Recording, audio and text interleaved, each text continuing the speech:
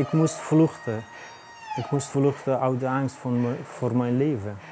Uit de angst van Taliban en hun gruwelijke daden.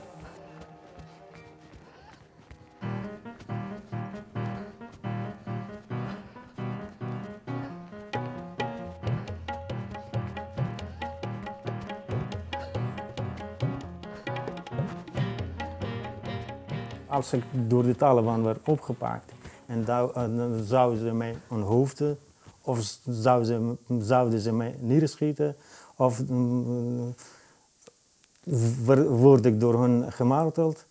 Die risico kon ik niet nemen en ik moest ontvluchten. En ben ik ontvlucht naar Nederland. dat het verschil tussen loonmatiging en nullijn nog wel een, een verschil uh, vanaf de voorjaarsnota.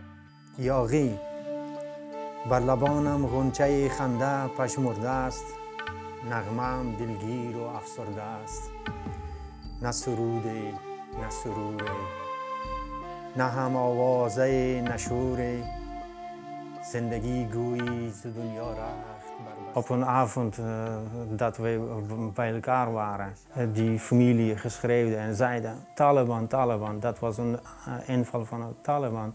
En toen moesten wij allemaal ontvluchten. En het is mij gelukt om, uh, om, van, van de Taliban te ontsnappen, maar er is een aantal vrienden dat niet gelukt. Ja, weet je wat er met hen is gebeurd? Achteraf heb ik gehoord dat uh, uh, twee van die vrienden zijn omgekomen door marteling en die zijn gemarteld en daardoor zijn omgekomen. Andere vrienden spoorloos. En daardoor krijg ik ook de schuld dat ik uh, achter die ellende uh, zat. Maar wat bedoel je daar precies mee? Toen ik, toen ik ontvluchtte, die familie van mijn vrienden zeiden, oh, hoe kon wat ontvluchten en onze uh, zonen niet? En dan dachten ze dat ik ook met de Taliban meewerkte. En dat is heel treurig voor mij. En, en, en ja, ik uh, kan het niet omvatten.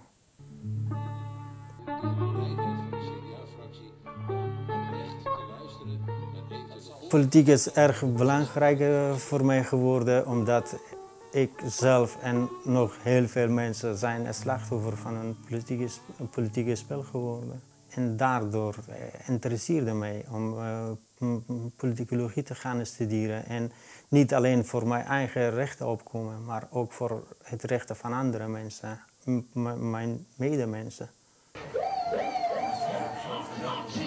Uh, toen ik in Nederland net aankwam, ik voelde me uh, eerst echt vrij. Ik dacht dat ik zou van, van die vrijheid ook kunnen genieten.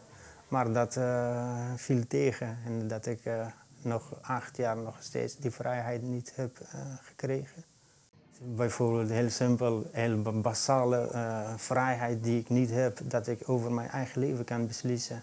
Bijvoorbeeld, ik kan niet zeggen dat ik over een maand ga ergens anders wonen of uh, over twee maanden of een zomervakantie ga ik een vakantie plannen om naar het buitenland te gaan.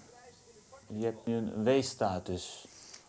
Kun je dat uitleggen? Wat is een Uh, w, uh, een W-status W van uh, wachten. ik wacht nog steeds dat ik een status krijg. Het, dat wil zeggen dat mijn aanvraag wordt nog steeds onderzocht.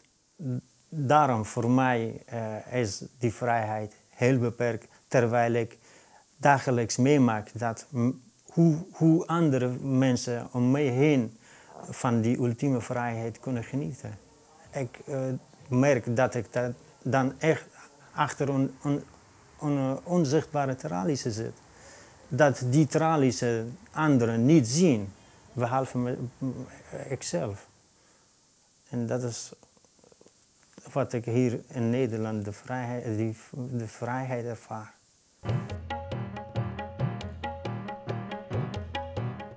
Ik uh, deed heel veel aan sport en uh, ook in Afghanistan deed ik aan sport. Gezond zijn is ook heel belangrijk. Als ik ga hardlopen, dan denk ik alleen wat ik mag denken en, en ik ben los van andere gedachten. Ik, ik, ik kan tot mijzelf komen. Dat is, zou ik zeggen, enige vrijheid dat ik echt van geniet. Denkend aan Holland zie ik brede rivieren traag door oneindig laag land gaan. Het gedicht van Marsman is heel mooi dat hij heeft heel goed beeld geschetst van Nederland. Rivieren, brede rivieren, bomen, kerken, dorpen. En het uh, angst voor het water. In Nederland wordt het, uh, het stem van, van, van water in alle regio's gevreesd. In Afghanistan wordt het stem van oorlog in alle regio's gevreesd.